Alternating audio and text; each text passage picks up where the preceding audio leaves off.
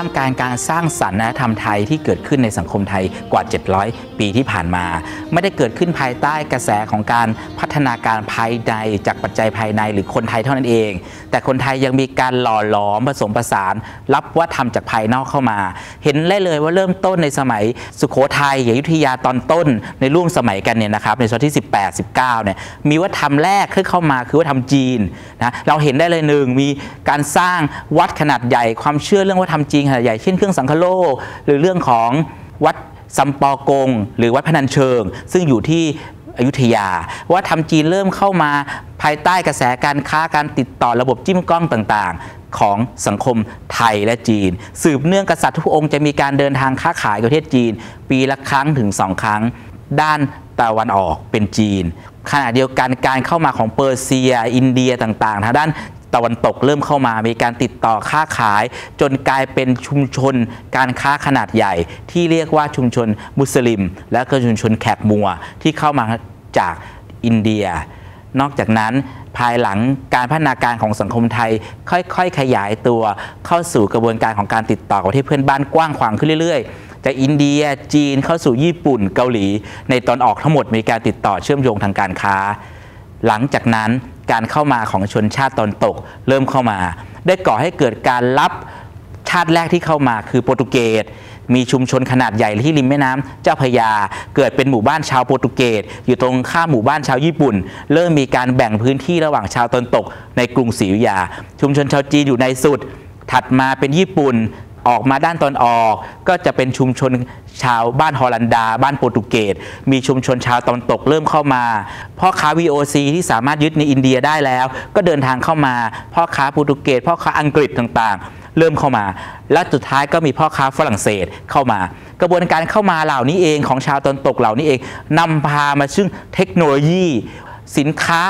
ฟุ่มเฟือยแล้วก็สินค้าต่างๆ วัฒนธรรมต่างๆ อันสมัยใหม่เข้ามาสู่บริเวณที่เรียกว่าอาณาบริเวณไทย เราสมัยยุยาตอนไปปลายสมัยพัฒนาลาย เรามีกระบวนการของการติดต่อค้าขายกับประเทศตอนตกมากมาย มีหลักฐานบางชิ้นบอกมีการสั่งซื้อม่านมาติดพระราชวัง มีการสั่งซื้อน้ำหอมกลิ่นกุหลาบ มีการค้าขายสินค้า มีการนำเข้าสินค้าต่างๆ ที่เป็นของตนตกเข้ามาจากพ่อค้าสเปนฮอนดาชาวอังกฤษเข้ามาว่าทำเหล่านี้เองจึงเกิดนอกจากว่าทำการค้าแล้ว เริ่มมีการรับวัฒนธรรมของปืน การสร้างป้อม เราได้เชิญวิศวกรชาวฝรั่งเศสมาสร้างป้อมแปดเหลี่ยม ในหัวจุดสำคัญ เช่นเมืองพิษณุโลก เมืองบางกอก แล้วก็เมืองกรุงธนบุรี ปากแม่น้ำเจ้าพระยา มีการสร้างป้อมขนาดใหญ่เป็นป้อมแปดเหลี่ยม วางปืนได้ 8 ทิศ เพื่อจะเฝ้าดูศัตรูทางการทะเล ว่าทำเหล่านี้ค่อยๆหล่อหลอม การเปลี่ยนแปลงภายในสังคมไทย จากอายุทยา ค่อยๆ พัฒนาการของปืน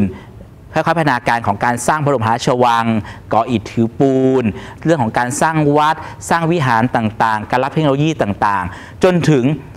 การลบ เทคโนโลยีของการต่อสู้กันทางการลบของการหล่อปืนใหญ่ การสร้างอาวุธขนาดใหญ่ใช้เทคโนโลยีใหม่ๆ เปลี่ยนจากดาบมาเป็นปืน สัมพันธ์กับกระบวนการของการรับวัฒนธรรมจากตอนตกทั้งสิ้น สิ่งที่เราน่าสนใจคือที่จะพูดต่อไปนี้และอยากให้ดูในคลิปวิดีโอ ก็คือเรื่องราวของพัฒนาการของกลุ่มคนชุมชน ภายใต้ธีมที่เรียกว่าอิฐกับการสร้างอารยธรรมอิฐเล็กๆ ของการหล่อหลอมดินปั้นขึ้นมา จนกลายเป็นอิฐ และอิฐได้สร้างวัด สร้างวัง สร้างวัฒนธรรม อิฐเหล่านี้จากอิฐธรรมดาสี่เหลี่ยมธรรมดา เริ่มรับว่าทำจากวันตะวันตก เช่นว่าทำโค้งแบบโกธิก ยอดแหลม ยอดโดม หรือว่าทำจากสิ่งต่างๆ จากประเทศต่างๆ ค่อยๆ หล่อหลอมกลายเป็นการสร้างอิฐ สร้างบรมราชวัง ที่มีลักษณะของการฐานอิฐ การชักน้ำพุ การสร้างบ่อน้ำการสร้างคลองต่างๆ เริ่มมีพระราชพระตำหนักพระที่นั่งที่เรียกว่าบรรยงพระอาจที่เป็นลักษณะของพระที่นั่งเย็นนะครับมีการชักน้ำมีกระบวนการของการทำหอคอยสำหรับเก็บน้ำแล้วก็ไขก๊อกลงมากลายเป็นน้ำตก กลายเป็นน้ำฝักบัว มีการชักน้ำเข้าไปลดให้เกิดความลดความร้อน ในพระบรมมหาชวัง มีการสร้างตึกสองชั้น เช่นพระที่นั่งอมรีวินิจฉัยในกรุงศรีอยุธยา การสร้าง วัฒนธรรมความรู้ของอิฐกับการสร้างพระราชวัง จากตึกชั้นเดียว เรือนไม้กลายเป็นตึก2ชั้น แล้วก็มีความสามารถในการทำฐานให้จากสี่เหลี่ยมกลายเป็นโค้งสำเภาซึ่งมารองรับอาคารที่สูงขึ้นได้ ตึกอย่างวัดกุดีดาวก็เป็นตึก2ชั้น นอกจากนั้นความเจริญทางด้านเทคโนโลยีอาวุธยุทโธปกรณ์ต่าง ๆ กระบวนการของการสร้างอิฐกับสงคราม กระบวนการของการสร้าง กำแพงเมืองที่เป็นคูน้ำคันดินกลายเป็นกำแพงอิฐกลายกำแพงอิฐกำแพงปูน และกลายเป็นป้อมเชิงเทียน